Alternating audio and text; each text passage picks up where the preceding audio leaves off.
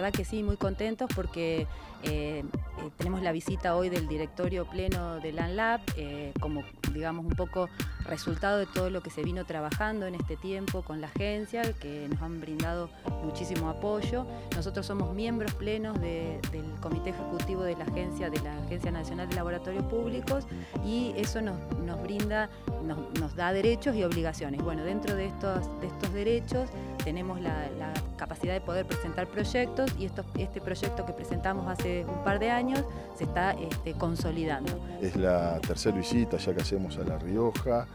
Eh, es en el marco del proyecto para la puesta en marcha del laboratorio de producción de medicamentos de la universidad. La Universidad de La Rioja tiene un laboratorio muy lindo, muy grande, que está terminándose.